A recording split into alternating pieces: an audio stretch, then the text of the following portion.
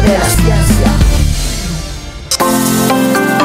Hola, hola, hola, ¿qué tal? ¿Cómo están? Hola, ¿qué tal? ¿Cómo están? Muy buenas tardes. Muy bienvenidos, bienvenidas a un nuevo programa de la Liga de la Ciencia, acá en la pantalla de la televisión pública, el programa donde celebramos la curiosidad. Andy, ¿vos cómo estás?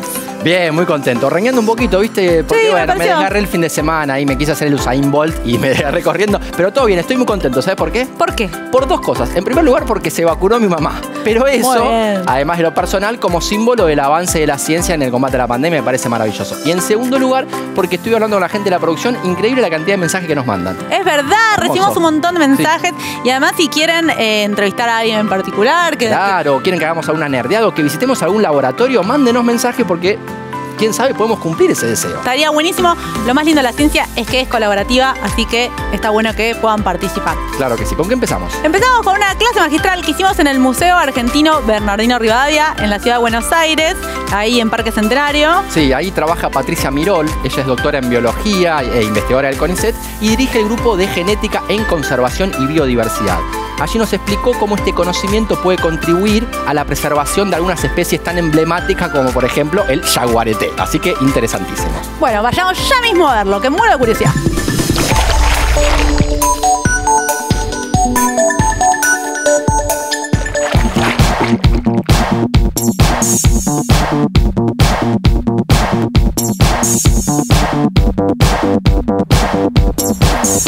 Estoy acá con Patricia Mirol, ella es doctora en biología y es directora del grupo de genética en conservación y biodiversidad acá en el Museo de Ciencias Naturales Bernardino Rivadavia.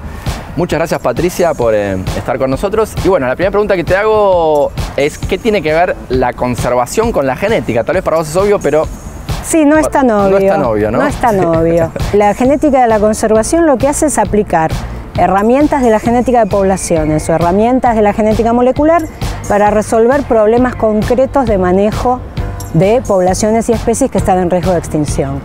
Bien. Todas las, eh, la mayoría de los problemas que tienen las especies que están en riesgo eh, parten de una, una única causa que es la modificación que hace el hombre del ambiente. Y esa modificación, que en general tiene que ver con un crecimiento de la población humana, con una necesidad por ocupar más espacios, por una necesidad de modificar el hábitat, modificar una selva, un bosque para eh, construir, para, para realizar plantaciones, etcétera, o para poner ganado, hace que las especies se vayan retrayendo cada vez más en su distribución. Y entonces poblaciones que en un principio eran grandes quedan convertidas en poblaciones muy pequeñas. Claro. Una población al ser pequeña tiene un montón de consecuencias con respecto a su variabilidad genética. Claro. Y la variabilidad genética es indispensable para poder responder a cambios en el ambiente. Entonces la genética de conservación lo que hace fundamentalmente es trabajar con poblaciones que fueron grandes, ahora están pequeñas, aisladas entre sí, desconectadas porque en el medio hay rutas, caminos, hay poblaciones, hay Claro. plantaciones, eh, usando herramientas de la genética molecular. Esa es una de las razones. Y la otra razón es que hace más o menos 20 años pudo por primera vez extraerse ADN de muestras no invasivas, que son muestras que uno obtiene en el campo sin necesidad de ver a los animales, Ah. sin necesidad de ver a los bichos. Entonces son muestras de las que las más comunes son las fecas, que es lo más común que deja un animal cuando Claro. va caminando por ahí.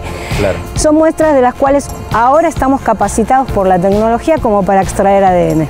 claro. Porque todas estas especies que están en riesgo no son especies que uno pueda interactuar demasiado con ellas. A veces ni siquiera las vemos. A ver, quiero un ejemplo concreto, por ejemplo, de cómo este entendimiento te puede ayudar a una mejor conservación.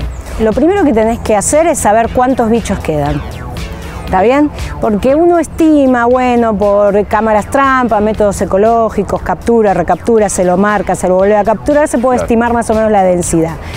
Pero también se puede saber cuántos bichos quedan de cada población a través de la genética, porque con la genética yo tengo una feca, Claro. Puedo extraer las células que rodean a esa feca, que son las células intestinales, Claro. ¿no? de cuando esa feca hizo todo el tránsito por el intestino del animal. Claro. Y ahí identifico no solamente la especie, porque a veces las fecas de un puma, las fecas de un Ah. jaguarete son muy parecidas, sino que puedo identificar también individuo por individuo. Entonces, Ah, esa es una forma de saber cuántos individuos quedan, que es la primera pregunta. ¿Cómo son los individuos de una población? Por ejemplo, Te voy a poner un ejemplo muy lindo y muy carismático que es el yaguareté. Bien. Estudio los y cuántos individuos de yaguareté tengo en las yungas. Y después estudio el Chaco. Y después estudio la- el bosque atlántico, que son las tres ecorregiones que todavía tienen yaguareté. Bien. Y yo estudiando sus genes puedo saber si todavía hay conectividad y hay migración Ah. entre esas zonas. Claro, o si ya están completamente separadas porque la antropización, la humanización del ambiente los dejó completamente aislados. Y esas tres regiones en las cuales mencionaste que están en Yaguareté, ¿qué encontraron? ¿Están conectadas o no? Lo que encontramos es que el bosque atlántico, Sí. o sea, lo que queda de bosque atlántico, de corredor verde en, en Misiones, Claro. está completamente aislado de los otros dos. Sin Ah. embargo, entre Chaco y Yungas todavía existe flujo génico, existe algún intercambio de genes entre los animales. Y si vos eso después lo mirás en un mapa, Mirá. te das cuenta que es posible, porque todavía existen corredores de hábitat Ah, que el animal puede usar para moverse Claro. de una ecorregión a la otra. Mencionaste el Yaguareté, ahora vamos a meternos más en Yaguareté si, Bueno. si, si- si te copa. Pero, ¿qué otros, dijiste mamíferos gigantes, ¿qué otros hay Gigantes no, grandes. Grandes, bueno. sí, No ratones, digamos. Claro, no ratones, está bien. ¿Y Bueno, qué otros mamíferos hay grandes, aparte del Yaguareté en que Argentina? están en riesgo. Sí. Bueno, el yaguareté es muy, Simbólico, eh, es ¿no? muy simbólico, es una especie de bandera. ¿Por qué? Porque hay distintos niveles de riesgo y es eh, el único mamífero grande que está en riesgo crítico de extinción. Riesgo crítico es la categoría más riesgosa de todas. Ah, mira. Pero después tenemos muchos otros animales mamíferos grandes que están en riesgo, como por ejemplo el tapir, Ah, eh, que en general comparten, eh, muchos de ellos comparten el mismo hábitat Bueno, que el yaguareté. claro, claro, Y claro. a- hasta son sus Claro. presas, como por ejemplo el tapir.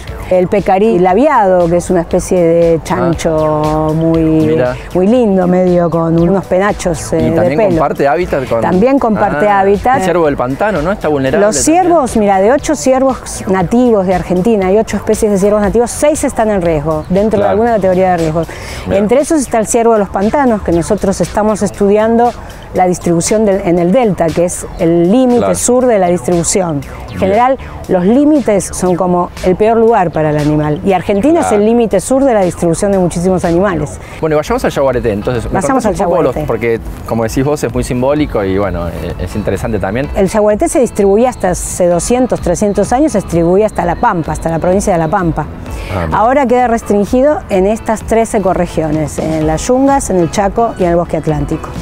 Los números son variables. De la población que parece estar como un poquito más numerosa es la de las Yungas, que tiene alrededor de 200 animales.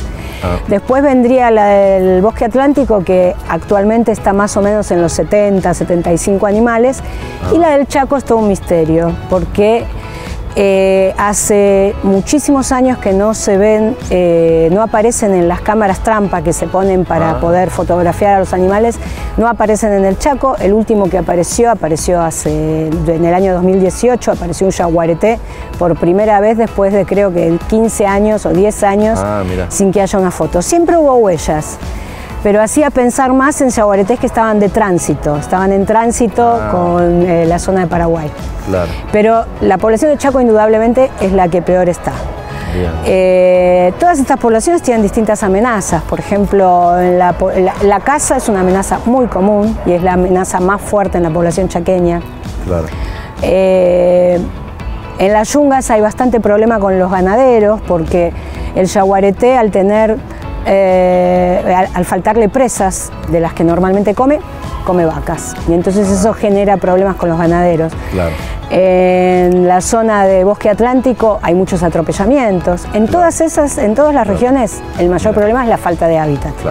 ¿Y cómo son las contribuciones que hacen ustedes como grupo de investigación a, a esa conservación? Bueno, nosotros trabajamos eh, en conjunto, digamos, la genética de la conservación tiene sentido siempre y cuando uno pueda transmitir los conocimientos que obtiene en el campo y en el laboratorio a los organismos que llevan adelante las acciones de manejo. Esos organismos en general son organismos estatales y algunas ONG.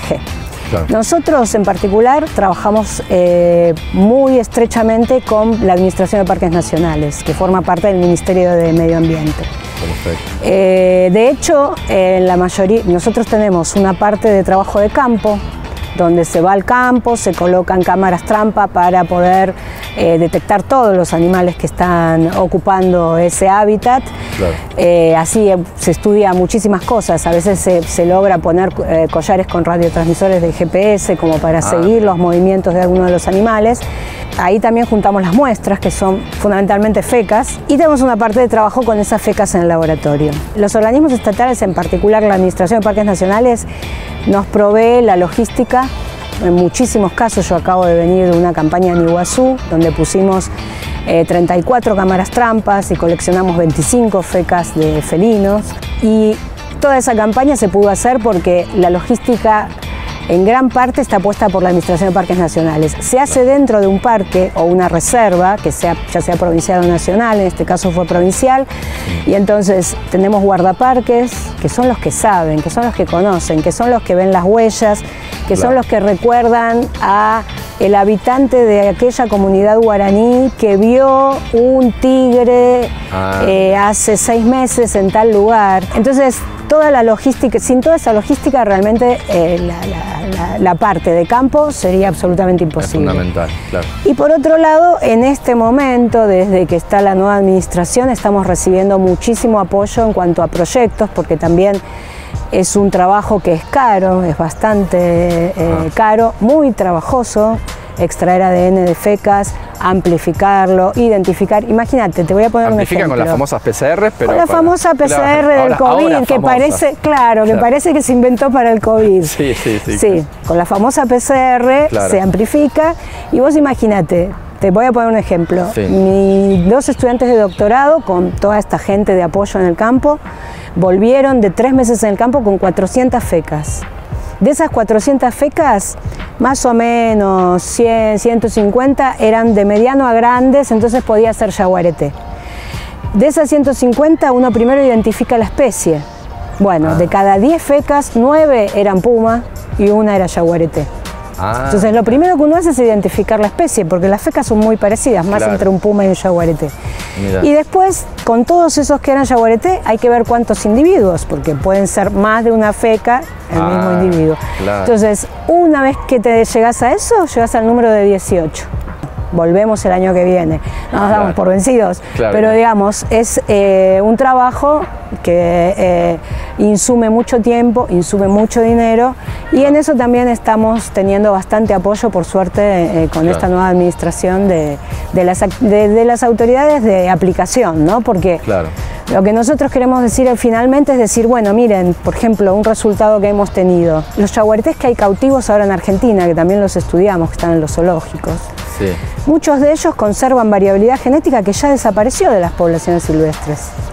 Eso te iba a preguntar, ¿cómo el tema de la variabilidad? Es un, más allá de, hay una presión por la caza y por la acción del hombre, y eso es un problema, pero más allá de eso, ¿hay un problema en la biología por la cual la baja variabilidad contribuye a una mayor probabilidad de extinción? Por supuesto, porque vos pensá en esto.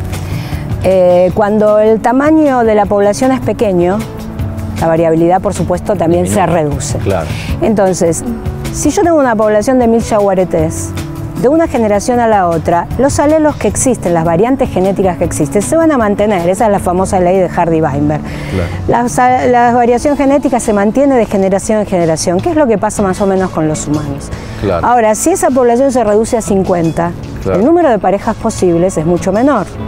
Con lo cual empiezan a haber cruzamientos consanguíneos. Los cruzamientos consanguíneos producen algo que se llama depresión por endogamia, que significa que alelos, que variantes genéticas que normalmente no se expresaban en la población, ahora sí se expresan. ¿Por qué? Porque un padre termina cruzándose con la hija, o la madre con el tío, o el abuelo con la nieta.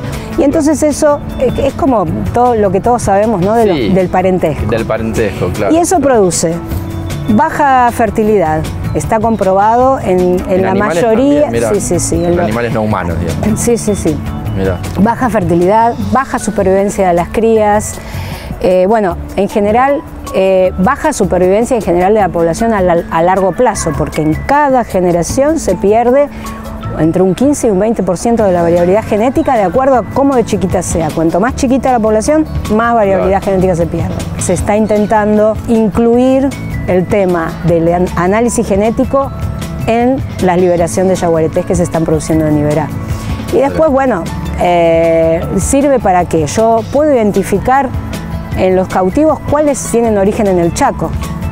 Entonces, utilizar esos que tienen origen en el Chaco para producir crías que vayan a parar al Chaco y no que vayan a parar a cualquier Claro. otro lado. Ah, O sea, hay muchísimas eh, posibilidades de manejo y de acción que se pueden hacer a través de conocer la genética. Qué bueno. El problema es que lleva tiempo Lleva tiempo. y que las consecuencias negativas se ven quizás en 10 generaciones o en 15. Entonces, Claro. como no son inmediatas, Claro. hay mucha gente que considera, no, ¿para qué gastar dinero y tiempo en hacer genética si dentro de 3, 4 Claro. generaciones vamos a tener un montón de animales? Pero bueno, y en 15 se cae todo porque son todos parientes quizás. Claro. ¿Hacia dónde ves que va todo el tema de la conservación y el aporte de la genética y cómo te gustaría que eso evolucione poner en los próximos 10 años? Mirá, eh, nosotros la verdad que fuimos un grupo de los primeros en Argentina que empezó con genética de la conservación. Y lo que estamos haciendo, por ejemplo, los proyectos que estamos haciendo ahora son proyectos que van allá, van, primero que la- trabajamos siempre con ecólogos, porque es imposible solamente pensar en la genética o solamente pensar en la ecología, es necesario una cosa multidisciplinaria. Claro. Entonces, eh, lo que a mí me gustaría es que esta relación que se está dando entre los gestores, ¿no es cierto? Que son o bien las ONG o bien los organismos estatales que son autoridades de aplicación, y la parte académica se mantuviera, porque si no, eso, si eso no existe, lleva a que los gestores tomen decisiones sin información científica y a que los científicos nos dediquemos a publicar papers, que realmente si yo trabajo en conservación, publicar papers es lo que menos me interesa. A mí lo que me interesa es dar un producto que sea aplicable para que se conserve al animal. Claro. Y ese producto no es un paper publicado. Entonces, eh, digamos, hacia el futuro lo que a mí más me interesaría es que esta eh, eh, ida y vuelta entre los que toman las decisiones y los que hacemos la base científica se siga manteniendo como, como está ocurriendo en la actualidad, ¿no? Genial. Bueno, muchísimas gracias Patricia. ¿eh? De nada.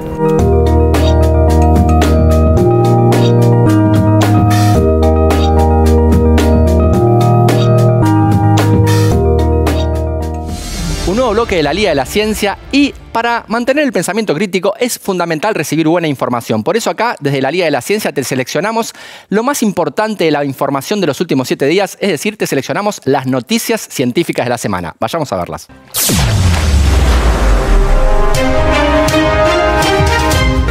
Agosto, el mes de las segundas dosis. Argentina empieza a cerrar la brecha creada por la falta del segundo componente de la Sputnik B, con un ritmo de vacunación de más de 200.000 personas diarias, solo en provincia y ciudad de Buenos Aires. Además, se está terminando de completar la inmunización de los que recibieron la primera dosis en abril y principios de mayo, de manera que la distancia entre ambas inoculaciones se reduce de 100 a 75 días. En paralelo, esta semana parten los primeros vuelos de una serie de 10 a China. Se esperan 8 millones de dosis que, en gran parte, se usarán para aplicar el segundo componente a quienes recibieron el primero de la misma vacuna. Agosto es el mes en el que se apunta a completar la vacunación del 60% de todos los mayores de 50 años del país. Se inauguró el Centro Universitario de la Innovación.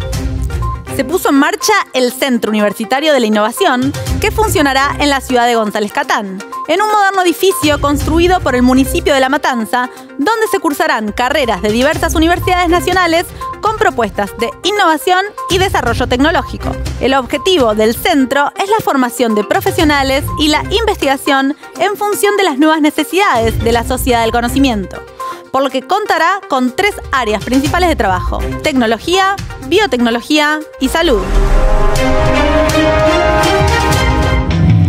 Y ahora nos vamos a recibir a un columnista que con sus explicaciones nos lleva de viaje a las estrellas. El público lo aclama. Le damos un gran aplauso a Mariano Rivas. ¡Eh! Marian, ¿Cómo andan? Marian. Bueno. ¿cómo va eso? ¿Todo Muy bien? bienvenido. Bien, muy bien, preparados para un viaje especial. Sí. Sí, dale.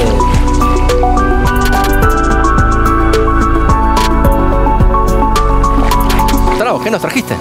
Bueno, tenemos un, un cielo para empezar. Bien. Un cielo, ¿se acuerdan cuando hacíamos las columnas de qué podíamos ver en el cielo en tal época y tal lugar? Claro. Es una mixtura entre una, una- lo que es una- un micro de, de agenda de cielo y un micro temático. Viene con suspenso. Bien, bien. Me encanta, me encanta. Como bien con suspenso, empezamos con una X de incógnita. ¿sí? bueno, tenemos un cielo de ahora de fines de agosto. Estamos viendo un anochecer mirando hacia el oeste. Acá está el planeta Venus, no es el tema. Bien. La constelación de Virgo, la constelación de la serpiente y ahí está la cruz. Bueno, ese es el lugar donde vamos a ir. Así que vamos a ampliar este ¿Qué hay mapa. en la cruz? Vamos a acá está la Cruz del Sur, para los que como yo saben poco y Acá. reconocen la Cruz del Sur, que es la que más fácil Centauri, de la Cruz del. Sur, claro. Centauro. Este Bien. es el cielo que tenemos estos anocheceres, tipo 9 de la noche más o menos, Ok. mirando al oeste. oeste. Bueno, ahí Hacia el oeste, bien. nos vamos a meter, vamos a pasar un segundo mapa para Sí. ver un poquito más. ¿Hiciste un zoom en la X? Ah, sí, Hicimos un zoom en la X. Ahora Sí, ya sí. estamos en lo que sería el límite entre la constelación de Virgo la constelación de la serpiente. Más precisamente Serpens Caput, la cabeza de la serpiente. Bien, y ahí dice algo rarísimo, ¿no? No sé si lo llegan a leer, si no yo se los leo. Sí, IC 1101. Exactamente. IC 1111, que en primera instancia no significaría No gran tengo cosa, idea. ¿no? ¿Qué se imaginan que puede ser? Puede ser el nombre de un androide, por ejemplo. Sí, sí. ¿no? Yo imagino eh, es el nombre de un objeto celeste que tiene esos nombres raros. Es un objeto veces. celeste. Bueno, IC es un viejo catálogo de la astronomía que es el, que es un- se llama catálogo índice o index, index catalog de finales del siglo XIX, donde se juntaron un montón de objetos difusos de cielo profundo que incluían nebulosas, cúmulos estelares y galaxias. ¡Apa! Me parece que Bien, nos estás dando vamos a meternos ahora a ver qué veríamos con un telescopio Sí, apuntando a esa cruz. Vamos a ver la imagen que sigue, un montón de estrellas. sí. ¿Y ven algo más? Yo no veo muy bien. Yo, yo veo en el una medio hay como una manchita. No es una cosa espectacular. Hay, ¿eh? hay puntos que parecen puntos que uno dice, qué sé yo, serán estrellas, no sé, y hay una manchita en el medio que. Hay una manchita en el medio. una Una nebulosa, una, claro. Bueno, así se ve ese objeto con un gran telescopio llamado IC 1101, el cual todavía no hemos dicho absolutamente qué es. Bueno, Bien. es una o sea que está algo que está muy lejos. Es algo que está muy lejos al punto tal que es el objeto más lejano que podemos ver con telescopios aficionados. ¿sí? O sea, no Wow. Ah, profesionales. para, para, déjame preguntarte. Dijiste eh, un gran telescopio. ¿Gran telescopios como los que tenés vos, que para mí son gigantes, o gran. que- Es un que- telescopio amateur, digamos un telescopio de 30 a 40 centímetros de diámetro que empieza a ser importante Bien. sin ser profesional. Como el que nos mostraste vos cuando fuimos Exactamente, ahí a mirar el cielo. exactamente. ¿Te acuerdas que Sí. nota, hermosa? Bueno, Sí, sí, sí. esto más o menos es Ah, lo que mira. vio, lo que vieron los descubridores de este objeto a fines del siglo XIX, Ah. el hijo de un gran astrónomo eh, de apellido Lewis, que eh, había, bueno, estaba medio jugando con un telescopio en esa zona del cielo y ve esta manchita. Esta manchita es una galaxia, ¿sí? Epa. Lo que pasa es que en ese momento, la verdad, no había mucha idea de qué podía revelarse ¿no? en esa imagen. Así que vamos a pasar a la siguiente para ver un poquito más A de qué se trata. Ah. Bien. va tomando forma. Va tomando forma de menor a mayor. Este es un telescopio más, más potente, ¿no? esto no es, un- tan pro- esta es una tan- imagen de ahora del siglo XXI, Claro. donde lo que estamos viendo es el gran cúmulo galáctico Abel 2029. Abel es otro catálogo de galaxias. Bueno, y el objeto central es el que estaba en la imagen anterior, que es la galaxia IC 1101. Una galaxia que está a 1020 1070 millones de años luz. O sea que esta luz tarda más de mil millones de años en llegar. Wow. Por eso yo les decía recién que eh, es el objeto más lejano que vamos a ver con telescopios aficionados, al menos de, de escala galáctica. Hay cuasares también, pero esto es una galaxia. Bien. Y si se puede ver a esa distancia tan enorme, con relativa facilidad, esto tiene magnitud 14, que para que tengan una idea es el brillo que tiene Plutón, más o menos. Es difícil de ver, pero no imposible. Ah. Tiene un tamaño angular de un minuto de arco, que es muy poquito, es un pedacito de cielo muy chiquito, pero algo debe tener esa galaxia para que es... ¿Qué te yo, yo levanto la mano como un Levante la mano. No, no, me queda la duda de cómo se mide semejante distancia, 1070 millones de años luz. ¿Cómo saben que esa distancia Bueno, es todo lo que sea de gran escala, o sea, todo lo que supera a los pocos miles de años luz se mide con Pocos parámetros. miles de años luz. Astrónomo de acá la No, no, hasta ahí se mide, ponele con métodos geométricos como paralaje, ¿no? que son básicamente un ángulo de corrimiento de un objeto que te da la distancia. Métodos indirectos. Básicamente hay dos. Supernovas. Por ejemplo, si explota una supernova en alguna de estas galaxias, no necesariamente en esta, en función del brillo que vos ves a esa distancia, podés saber a qué distancia está porque ya tenés catalogado el brillo de las supernovas promedio, digamos. ¿no? Ah. Esa es una posibilidad. Mirá. Y la otra son las estrellas que llaman cefeidas, que son estrellas evolucionadas que pulsan y cuanto más tiempo pulsan, más brillo alcanzan. Se las conoce en Vía Láctea, están en, prácticamente en todas las galaxias. Entonces, si vos identificás o una supernova o una cefeida en algo de acá, podés deducir indirectamente a qué distancia está en función de cuánto parece brillar y cuánto debería brillar. Ah, Esa diferencia entiendo. entre lo que debe y en lo que parece es el factor distancia. En Qué este caso, interesante. 1070 millones de años luz. Bueno, y ahora viene la, eh, la gran sorpresa. Vamos a pasar a la otra imagen, que es el primer qué plano hermoso. de esta galaxia elíptica. Es una galaxia que está catalogada como C minúscula D, que quiere decir enorme y a la vez difusa. ¿Por qué esto? Al principio se midía en el orden de los 200.000 años luz, pero en las últimas pocas décadas, hablemos del año 90 para acá, Sí. se fueron encontrando estructuras cada vez más dispersas, más difusas, que llevaron su dimensión total a 6 millones de años luz. 6 millones de años luz. Mira, Seis- ¿puedo, hacer una comparación para que Yo para te tener iba- una te dimensión? iba a pedir una no, comparación. porque yo sé la- la- el diámetro de nuestra galaxia, la Vía Láctea, corregime Sí, Mariano si me sí, equivoco, sí. son unos 100.000 años luz. Sí. ¿no? O sea, 100.000 a 6 millones. Esto sea es, que es 60 veces, es 60 veces el diámetro de 50, nuestra galaxia. 60 veces es más. Después la última imagen que vamos a ver justo ilustra lo que vos estás diciendo. Ah. Así que viene como anillo al dedo. Perfecto, perfecto. Pero Siempre como buen alumno te adelantaste al Bueno, profe. sí, sí, sí, sí, Pero sí. está perfecto. Bueno, 6 millones de años luz, como ustedes bien dicen, es 50 veces el diámetro de la Vía Láctea. La Vía Láctea no es una galaxia chiquitita, ¿eh? ojo. Ah. Es una galaxia premium. Ah, buen dato. Es una galaxia que está en el 10% de las más grandes. Siento que los terráqueos somos más importantes ahora. Estamos Bueno, viste que No, históricamente pasamos. importante. Históricamente nos fueron como mandando. Primero pensamos ser el centro del universo, nos mandaron a orbitar el Sol. Después pensamos que el Sol era más grande y era una estrella cualquiera. que estábamos en el centro de la galaxia y nos mandaron a la periferia de la galaxia. Bueno, Me gusta que la astronomía es un- la historia de la astronomía es, una, es la historia del golpe contra el chauvinismo humano, ¿no? Eso de crearnos importante. es una serie de sopapos continuos. Te Pero qué hermoso, te bajan qué al nivel. estas imágenes. Bueno, vamos a ver otra imagen más de esta galaxia que como ven está rodeada. Esto es una imagen del telescopio espacial Hubble que muestra claramente la forma lenticular Claro. que tiene, elíptica, y al mismo tiempo esta cosa fantasmal que se extiende por estos 5, 6, algunos hasta hablan de 8 millones de años luz, que para que tengan una idea es más grande o prácticamente el mismo tamaño que el- todo el grupo local de galaxias donde estamos nosotros. Claro. Digamos, la distancia Ah, que está hasta mirá. Andrómeda, todas las galaxias vecinas entrarían en el tamaño de esta galaxia, que, eh, bueno, hay una serie de, de- de especulaciones de por qué pu- puede ser tan grande, Claro. y la más importante es algo llamado canibalismo galáctico. Me encanta. A ver, que, que como que ser- una galaxia trae otras galaxias. Parece ser que esta galaxia ha perpetrado una serie de actos de depredación en el entorno, gravedad mediante, a lo largo de miles de millones de años. Esto no es algo raro, pero con la semejante masa que tiene ha ido incorporando Wow. galaxitas más chiquitas, varias de las cuales hemos visto. Muchas otras ya no están más porque están como, como una serie de restos difusos todo en la, en la periferia. eh, y han hecho crecer este objeto hasta el nivel de los 6 millones de luz, que en el universo observable conocido es la número uno de todas las galaxias. Eso no quiere decir que en todo el universo hay partes que son inobservables, sea la galaxia, pero de todo lo que se puede ver, de todo lo que se ha monitoreado, todo lo que se ha medido, IC 1101 es la galaxia más grande del universo, vamos a agregarle observable, y esta cosa de que, de que es algo tan lejano que lo podemos ver con instrumentos pequeños. ¿no? Me queda la última imagen, que es esa que habíamos adelantado de, Ah, de escalas. ¿eh? comparación con la Vía Láctea, claro, Sí, sí, porque ahí nos va a entrar un poquito mejor la... Ah, mirá. No, mirá, es gigante. Y acá le Claro. le hicimos un poco de precio a la Vía Láctea porque... La nuestra ve. tiene esa formita. En es realidad, especial, claro, es sí, la nuestra es una espiral La, clásica. la forma que sea espiral o elíptica, ¿tiene que ver con el tamaño o es independiente del tamaño? No, no, no. Las elípticas son toda una familia de galaxias, de las cuales tenés grandes, chicas, medianas.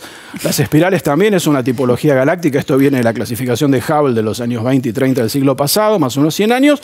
Pero, digamos, no es habitual encontrarse elípticas de este porte. En realidad, la escala real excedería la imagen, ¿no? porque el halo difuso llegaría hasta este borde y este borde. Más o menos esto es una representación basada en la coherencia, digamos, una cosa más o menos para que a un primer golpe de vista tener claro de qué estamos hablando cuando hablamos de la galaxia más grande del universo. Pero el tamaño, ¿no? La distancia no está representada en el gráfico, No, no, no, claramente. no, acá las pusimos juntas Porque acá porque- me, acá me dicen, nos come, ¿no? No, No, está- no, no, estamos no, lejos, no, no, nosotros no, por estamos suerte, a salvo. Por suerte, esto serían mil millones de años luz, mil setenta. Hagamos la cuenta, entonces el diámetro de la, de la galaxia grande es, dijimos, 6 millones de años luz. 6 millones y la distancia entre la las dos distancia son, mil millones y la- mil, Mil- millones entre ella y nosotros. Claro. Acá está puesta nada más a fines comparativos para Claro, es mil millones, mil millones contra seis mil. Es como. Claro, y además tenemos, Mucho fíjate que lo que es esto, que son 100, 120 mil años luz, ¿no? Como decíamos al principio, la Vía Láctea no es una galaxia chiquitita. Acá hay galaxias que directamente ni aparecerían en la escala, ¿no? Wow. Así Claro, que, bueno, claro. es un peso pesado, es un- una de las cosas más impresionantes que hay en el universo y curiosamente al alcance de telescopios aficionados, lo cual siempre es importante destacar, ¿no? Mariano, yo no tenía idea de esta galaxia, así que me encantó eh, particularmente esta columna. Descubrí Sí. un montón de cosas que me no tenía encanta, idea. me encanta esta, esta mezcla de turismo galáctico y, y- y espacial con informe, hermoso. Muchísimas gracias, Mario. Gracias a ustedes, como siempre. Y ustedes quédense ahí porque ya venimos con más La Liga de la Ciencia. Vamos a hablar de una problemática compleja y muy relevante para nuestro país, que es la enfermedad de Chagas. Ya venimos. alfa, es beta, la liga, la liga, la liga de la ciencia. Hay un portal, hay un sitio, hay un canal donde el conocimiento toma la palabra. Todo ciencia. Todociencia.com.ar Mucho más que noticias científicas.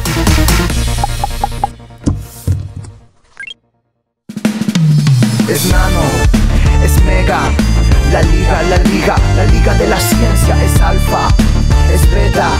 La liga, la liga, la liga de la ciencia. Un nuevo bloque en la Liga de la Ciencia y llegó el momento de una entrevista muy especial. ¿Sabías que el 27 de agosto es el Día Nacional por una Argentina sin Chagas? La enfermedad de Chagas es causada por un parásito, el Trypanosoma cruzi, y hay un dato que a mí me llamó mucho la atención, que es que dos de cada tres personas infectadas por este parásito con la enfermedad de Chagas viven en la ciudad, a diferencia de lo que muy comúnmente se cree que es más de la ruralidad. No, dos de cada tres viven en las ciudades, porque esta eh, enfermedad se transmite por la vinchuca, que te transmite el parásito, pero también por transfusiones de sangre, Ah, madres embarazadas a sus hijos, o eh, por eh, transfusión de sangre o trasplante de órganos, también Mirá. puede pasar. Y alimentación. Y alimentación. Y Me- alimentación, me, me tiran por Te- acá. ¿Quién te sopló? Te sopló Carolina Carrillo, sí, ella es doctora en biología, es investigadora del CONICET. Además es compañera nuestra también en nuestra profesión, que es la comunicación pública de la ciencia, hace mucha comunicación pública de la ciencia.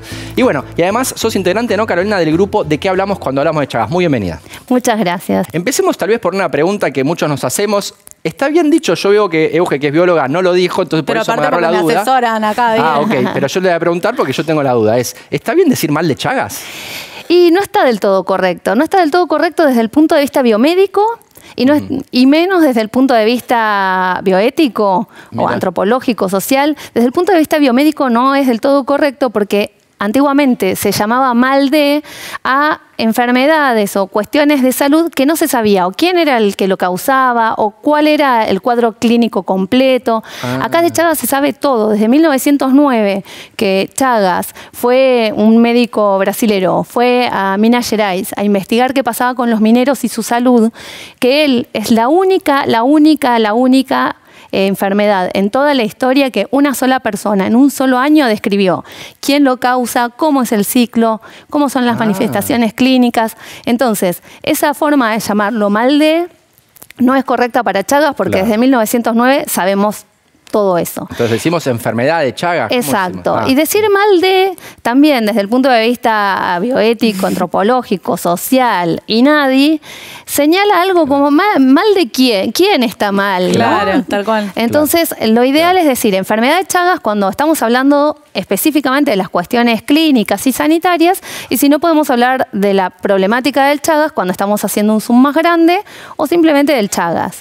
Perfecto. Perfecto, clarísimo. Eso, eh, bueno, y empecemos por la enfermedad del Chagas. ¿Cómo, cómo es? ¿Qué síntomas causa? Bueno, cuando el parásito recién entra a nuestro cuerpo, vamos a tener lo que se llama un periodo agudo. Y ese periodo agudo es que recién entra, el cuerpo lo empieza a distinguir, el sistema inmune empieza a reaccionar. ¿Y qué podemos tener? Podemos tener alguna manifestación como fiebre, eh, descompostura, dolor de cabeza o nada. Entonces puede pasar desapercibido. Y además las características son generales, pueden ser de cualquier otra cosa. Después pasa un momento en el que no tenemos ninguna manifestación, que es cuando eso pasa a ser crónico, pero pasa como en un estado de latencia. Y después de muchos años, solo el 30% de las personas que tienen el parásito van a tener manifestaciones clínicas, que son, por ejemplo, daños en el corazón, eso es como una de las características más frecuentes. También puede causar daños en el sistema digestivo y muy ocasionalmente en el sistema nervioso.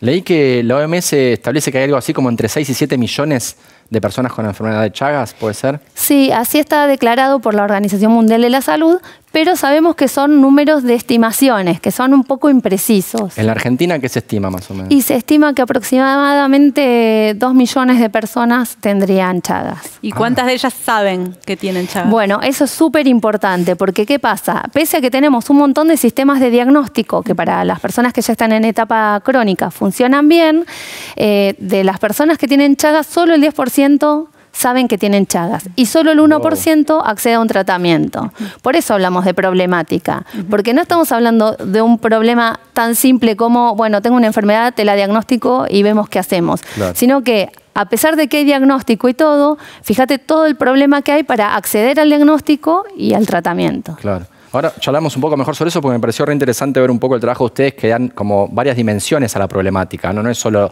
si se quiere, la, la de la enfermedad fisiológica, sino también la, la epidemiológica, pero también la sociológica, la política, ¿no? Pero antes de eso, eh, ¿nos hablas un poquito del grupito? Del grupito, del grupo, del grupito. Son un montón. Son un montón el grupito. El sí. grupazo. El, el grupo de, eh, se llama ¿De qué hablamos cuando hablamos de Chagas? ¿Cómo Así nació? ¿Quiénes son? ¿Qué, qué- cuál Bueno, es la misión? nació para el 2011, eh, distintas personas que trabajábamos en la problemática desde distintos lugares, nos fuimos encontrando como con las mismas inquietudes, estas de abordar la problemática desde un lugar más amplio, que, que admita esto, distintas miradas, distintas voces, que no haya una voz calificada y las demás escuchan, sino una cosa de, de promoción de la salud desde un lugar más activo, más dinámico y reconociendo que hay un montón de factores que participan. Entonces, a partir del 2011 nos fuimos encontrando y armamos el, el grupo. Está formado por personas que, que trabajamos en ciencia, en salud, en diseño gráfico, que son educadoras eh, o hacen pedagogía, o sea, un poco de todo. Y eso es parte de la, de la gracia del grupo. Claro. Entonces, trabajamos un montón en eso, tratando de mostrar que el Chagas y el Trypanosoma cruzi, que es el parásito que causa la enfermedad, no discrimina. Entonces, da lo mismo si vivís en el campo o si vivís en la ciudad, si naciste en un lugar o en otro. eh, podés tener Chagas y es importante eso, estar atento o atenta y eh, saber que tenemos un diagnóstico gratuito en nuestro país. Cualquier persona puede hacerse el diagnóstico y contamos con un montón de otros derechos. Bien. Eh, Eh, ¿Como cuáles? Porque uno tiene que saber que si tiene Chagas también puede acceder a un tratamiento. Exacto. Tenemos la ley de Chagas, es una ley hermosa en el, en el sentido amplio, porque es una ley que fue escrita justamente con un criterio no solamente biomédico, sino desde teniendo en cuenta estas cuestiones culturales, sociales, económicas, políticas y aborda un montón de aspectos. Entonces, habla de esto, el, derecho a hacerse el diagnóstico cuando uno quiere, el derecho a recibir un tratamiento gratuito. El tratamiento puede ser eh, tripanocida, o sea, para atacar al parásito en determinadas etapas de, de la infección, o el tratamiento para que los signos y síntomas disminuyan o no avancen. Entonces, tenemos esos derechos, pero además, paren que hay un derecho que para mí es re importante, que lo dice esa ley, que es el artículo 5, que dice que las personas en el preocupacional no deben ser testeadas para Chagas. Y uno dice, wow, qué loco, ¿cómo que no sean testeadas? ¿Por qué? Porque tradicionalmente ese diagnóstico se usaba para no tomar a las personas. y lo que dice la ley es que ninguna persona debe ser discriminada por tener Chagas. Claro. Entonces, cualquier persona tiene derecho a hacerse cuando se le cante el diagnóstico para Chagas, pero de ninguna manera se lo tienen que hacer como preocupacional. No hay vacunas, ¿no? No, no hay No hay. vacuna. Pero hay investigación, porque te llevo un poco ya, si quieres, un poco más a lo político también. Algo que siempre me sorprende mucho cuando veo los números es la inversión que hacen las farmacéuticas y los grandes gobiernos también en enfermedades que en el fondo son enfermedades más de ricos. Y las enfermedades que tiene la población más vulnerable, que afectan muchísimas más personas, tienen mucha menos inversión. Es el caso del Chagas, evidentemente, porque no, no escucha hablar de la inversión en vacunas para el Para mí Chagas. tiene que ver con que es un problema muy de Latinoamérica. Tiene que ver con, No un sé. poco con todo y un poco con lo- el lugar simbólico que ocupa el Chagas. Nosotros seguimos pensando que el Chagas es de pobres, es de la ruralidad, y eso ya no está pasando. De hecho, hubo como un cambio en la mirada, que por ahí no se generalizó, pero al menos sí en la comunidad científica, que fue en el 2009 la Organización Mundial de la Salud declaró al Chagas como una enfermedad globalizada. Hay hay Chagas en Europa. Está hay bueno chagas en sepamos. Europa, hay chagas Ah, en mira. Japón, hay chagas en Australia, Ah, hay chagas, wow. probablemente hay chagas en África, solo que nadie lo buscó. Entonces, chagas ya está en todos los continentes, sí.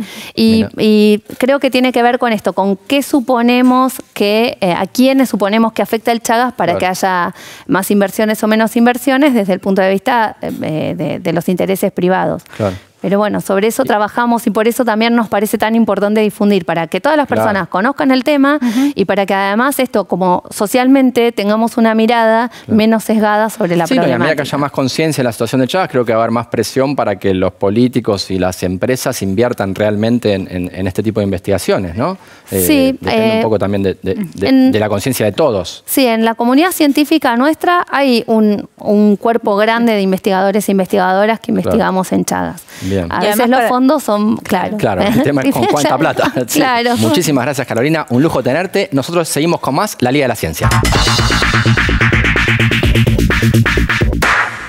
Última parte del programa llega el momento del Club del Nerd. Sí, el club que más crece en la Argentina. Y hoy vamos a estar hablando de una revista, bueno, de una revistita, pero muy importante. Quizás muchos de ustedes conozcan la revista de divulgación científica Ciencia Hoy, tiene Una- décadas. Una revista mítica de la ciencia argentina. Y la revista Ciencia Hoy se reprodujo, tuvo un hijite. Tú dijiste, sí, hace algunos años que existe la revista Ciencia Hoy de los Chicos, una actividad súper interesante, súper importante. Y para charlar sobre eso, estamos con dos referentes de la revista, Cecilia y Priscila, ¿cómo están? Un gusto recibirlas. ¿eh? Hola, un gusto Hola. para nosotras. Muchas Hola, gracias. Chicas, gracias por venir. Y además nos trajeron toda la colección. Repertorio. Todo el repertorio, buenísimo. Bueno, ¿nos cuentan un poco cómo surgió la idea, de, de qué trata la revista? Bueno, la revista es una revista de ciencia eh, que está destinada principalmente a los chicos y chicas de eh, el último tramo quizás de la escuela primaria y el comienzo de la secundaria quizás. Eh, una pregunta, así como Ciencia Hoy, Ciencia Hoy de los Chicos, ¿también está escrita por científicos y científicas? Exacto. Un grupo de los editores de Ciencia Hoy, clásica como le decimos nosotros, motivados por transmitir la ciencia principalmente a los, a los y las más, más, más pequeños, se junta con esta, con esta motivación ¿no? de transmitir la ciencia para poder fomentar este espíritu crítico que ya de por sí traemos desde chicos. Sí. Claro, sí, sí, Y- sí. Exacto. Para que no se disuelva, digamos Exacto, así. ¿no? fomentarlo, Sí. exactamente. Y de esta manera poder eh, tomar mejores decisiones, formar personas eh, más críticas eh, y, y así es como surge Claro. eh, la revista de, de Ciencia Hoy de los chicos. El otro día escuchaba un reportaje a Carl Sagan donde él decía que eh, los chicos todos son curiosos y tienen pensamiento crítico e intuitivo hasta más o menos la adolescencia, que por alguna razón que él no terminaba de entender, decía él, eh, pierden un poco esa curiosidad. Eh, como decíamos recién, ¿no? tal vez el objetivo de la revista es que no se pierda esa curiosidad. ¿no? Engancharlo justo Engancharlo justo en ese ahí, momento claro. en que... Y les quería preguntar entonces cómo, cómo, cómo ven la experiencia de los chicos y las chicas cuando están con la revista, cómo, cómo fue el feedback que fueron viendo estos años. Y la verdad es que es algo muy lindo, o sea, tenemos feedback tanto de eh, personas referentes adultas de ellos, como pueden ser docentes o Ah, incluso claro. familiares. Eh, hay varios docentes que utilizan nuestro material para las escuelas, eh, lo cual a nosotros nos regocija completamente. Y después también por el otro lado tenemos los mensajes de quizás algún abuelo o abuela, algún padre Ah. que dicen, bueno, todos los sábados leemos una nota de la revista y se genera como ese ambiente eh, en torno a la ciencia que la verdad es súper gratificante. Y respecto a los chicos también tenemos una evolución, eh, más allá de quizás que comentan a veces en las redes o participan de la página web, eh, también con preguntas curiosas, o sea, nosotros tenemos eh, una sección donde permitimos que eh, iniciativas de los propios chicos y chicas sean respondidas y Claro. abordadas, ¿no? Porque justamente eh, uno de los objetivos de la revista es esto, bueno, despertar la curiosidad, pero no de fenómenos extraordinarios o de cosas muy puntuales, sino de, de la vida cotidiana, es decir, Claro. veo esto y me pongo los anteojos de la ciencia para poder interpretarlo. Entonces el feedback, lo que uno recibe, la verdad es que esos mensajes y esas situaciones que nos cuentan y nos llegan es súper gratificante. Claro. ¿Y cómo son esas reuniones? ¿Cómo deciden planificar un número? Dicen, bueno, vamos a hablar de este tema, eh, de cómo deciden contarlo de una manera que eh, se entienda, pero a la vez mantenga esa rigurosidad. Me imagino que debe ser re Sí, difícil. nos divertimos un montón, eh, la verdad que sí. Y mm, sí, y, y nuestro objetivo principal también es poder abordar cualquier tema que fuera, esté o no en la currícula de los chicos, eh, desde un enfoque diferente, ¿no? Como para poder eh, motivar eh, la curiosidad, dejar preguntas abiertas y ese tipo de cosas. Y bueno, y la verdad es que es muy dinámica. Las reuniones que tenemos, sobre todo, bueno, en la presencialidad podíamos encontrarnos y nos divertíamos un montón. Eh, ahora estamos como ahí atrás de la pantalla, pero este, bueno, y la verdad es que solemos eh, tener eh, un, un feedback entre nosotros y, y surge de nuestras, mi- de nuestras propias eh, eh, ganas de contar algo o alguna cuestión, eh, alguna novedad que haya salido eh, en, en la actualidad o alguna cuestión así. Y, y- Claro. y sobre todo también de las cuestiones de los chicos, las preguntas de los chicos, de los mismos chicos Ah, que surgen. claro, claro. O, por ejemplo, cuando nosotros tenemos el feedback, principalmente cuando, por ejemplo, cuando fuimos a la Feria del Libro, eh, que fuimos con un buzón para que nos dejen las preguntas eh, curiosas que tengan los chicos. Ay, y, qué este, bueno. y ahí nos piden un montón de notas y que- para que hablemos de piedras, que hablemos de distintos objetos. Les encantan los dinosaurios. Dinosaurio es tema. Es el- puro, el ¿no? tema, sí, exacto. claro. Y aparte la revista también eh, hacen videos, ¿es verdad? Ah. Sí, justamente eh, tratamos por varias cuestiones de tener distintos recursos. Por un lado, lo pensamos en el sentido de la cuestión del acceso de, de las personas con la pandemia, incluso descubrimos Claro. que eh, la revista en formato físico se vio pausada y hubo que innovar o, o hacer más hincapié en otros recursos. Claro. Entonces, en ese sentido, tratamos que dentro de eh, la revista tener, bueno, material escrito que puede ser tanto impreso como puede ser en la web. eh, cortos, met- cortometrajes, videos, como estabas comentando ustedes. También tenemos podcast, tenemos diferentes Qué materiales bueno. que Bueno. lo pensamos como puertas de entrada a la ciencia, es decir, permitir que justamente cada persona, de acuerdo a sus intereses y a lo que le permite hacer todo este proceso de construir la curiosidad y el espíritu crítico, pueda acceder a eso. Vayamos a ver un pedacito del video de las vacunas. ¿Les parece? Perfecto, Dale, vamos. vamos a verlo. Los seres humanos estamos expuestos a un sinnúmero de organismos capaces de hacernos daño. Pero nuestro cuerpo cuenta con un sistema de defensa llamado sistema inmune. El sistema inmune está formado por células capaces de reconocer cualquier elemento ajeno al cuerpo. Estas células se llaman glóbulos blancos y circulan por nuestra sangre patrullando el cuerpo, listas para reaccionar ante la presencia de un invasor. Para que los glóbulos blancos nos puedan defender eficazmente, primero deben poder reconocer ese organismo invasor que podría ser patógeno para luego combatirlo. ¿Pero qué es un patógeno? Cualquier organismo capaz de causarnos enfermedades. Los más comunes son las bacterias, los virus, otros organismos unicelulares, algunos hongos y algunos tipos de gusanos. Y entonces, ¿qué son las vacunas? Una vacuna es un preparado compuesto por un patógeno muerto o debilitado, entero o solo un pedacito. Si nos inyectaran un patógeno intacto, seguro nos enfermaríamos. Excelente el video. ¿Cómo deciden las temáticas de los videos? ¿Cuál van a ser? ¿Cómo es ese proceso? Bueno, el, el tema de los videos, eh, concretamente, eh, nos presentamos a un concurso de FOMECA en conjunto con una gente de, experta en cine, que son unos genios, Ah. y presentamos eh, unos temas, una, una selección de seis temas, y mm, bueno, y así fue como pudimos grabar esos cortos que nos parecieron súper divertidos. Fue una experiencia buenísima para nosotros y Ah. como decía Priscila, fomenta el, el alcance a distintas partes del, del país. Claro, Eh, no claro. solamente a los que podemos Claro. llegar con la revista, sino a todos, digamos. ¿Y cada cuánto sale la revista? ¿Qué periodicidad tienen? ¿Y ¿Cómo La- se distribuye aparte de la física? Sí, la revista sale cada cuatro meses Ah, bien. y em, la tenemos por suscripción. Podemos sus- suscribirnos y podemos enviarla por eh, enviado a mi, a mi domicilio. Ah, ok. Sí, bien, y bien. después en la web tenemos liberados algunos números para que se pueda acceder libremente y en formato Buenísimo. virtual. Claro. Y a mí me da intriga saber si tienen alguna que sea su preferida. Tipo, a mí el número, no sé, del agua me encantó. No sé cuál es, Priscila, tu preferido. Por, si tuvieras que elegir uno. Y bueno, a mí me gusta mucho el de Patagotitán, el de los dinosaurios, Patagotitán, sí. Eh, así que justo el que, bueno, ahí tiene Sí, Ceci. este.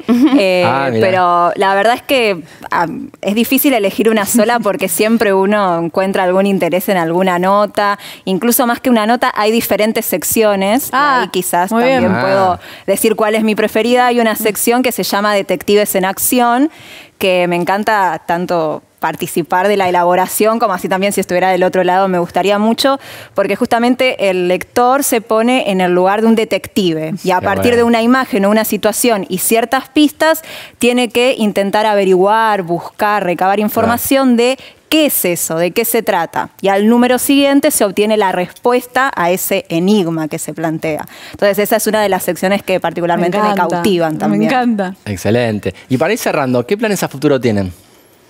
Bueno, dentro de los planes eh, está continuar eh, expandiéndonos, intentando justamente que nuestro material tenga acceso a todos los lugares del país. O sea, tenemos suerte de que hay en diferentes provincias, sabemos que reciben la revista o que interactúan con nuestro material, pero bueno, nuestro mayor deseo es ese, es poder expandirnos justamente para aportar un granito de arena a esta construcción de- del pensamiento crítico y de la curiosidad que permite también, eh, a edades muy tempranas principalmente, construir esa base que posibilita que ante situaciones tanto científicas y tecnológicas de la vida cotidiana uno pueda desenvolverse y también tener esa curiosidad eh, nata que es muy característica de la ciencia. La verdad que, no sé, yo pienso en la, en la agujecita chiquita que iba a la escuela y que no existía una revista así cuando yo era chica y me No. parece que, que les debe pasar, ¿no? Eso de pensar cómo hubiera sido regalarse esa revista a nuestros yo del pasado? Decime si no te hubiera encantado. No, no, me encanta. Sí, sí, estaba imaginando eso y me acordaba que yo hacía zapping en la tele porque había dibujitos y yo quería ver pequeños documentales de ciencia. Ah, Entonces, capaz, era si un hubiera pequeño tenido. nerd. Era un pequeño nerd. Si hubiera tenido una revista como esta, ¿sabes cómo? Y, y si no, tenía la famosa Villiquen anteojito, pero que de ciencia tenía muy poquito. Poquito, Entonces, claro. Esto sería como una Villiquen, pero de ciencia era mi. se- hubiera sido mi, mi paraíso. Así que nada, buenísimo, espectacular. Muchísimas gracias, chicas. Bueno, muy gracias. lindo todo. Muchas gracias a Muchas ustedes. gracias por invitarnos. Y nosotros nos quedamos sin tiempo, Andy. Sí, nos tenemos que ir. Siempre nos quedamos con ganas de charlar más, de visitar más, de conocer más, de curiosear más. Pero qué lindo programa tuvimos. Qué lindo programa, hermosísimo, hermosísimo. ¿Y el consuelo que tenemos siempre cuál es? Que nos vemos la semana que viene acá en la pantalla de la televisión pública en la Liga de la Ciencia. Chao, hasta la semana que viene. Chao. Chao. Hey, yo, uh, un protón muy excitado, un descolocado, un genoma descifrado, un fantasma del pasado, un microbio liberado, un pronóstico acertado, un desastre anunciado, un volcán descontrolado. Es nano, es mega, la liga, la liga, la liga de la ciencia, es alfa, es beta, la liga, la liga, la liga de la ciencia. Yeah, one shot.